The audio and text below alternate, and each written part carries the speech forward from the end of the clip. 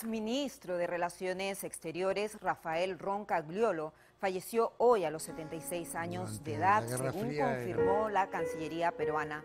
Roncagliolo fue ministro de Relaciones Exteriores en el gobierno de Ollanta Humala desde el 2011 hasta el 2013, cuando dejó el cargo por motivos de salud.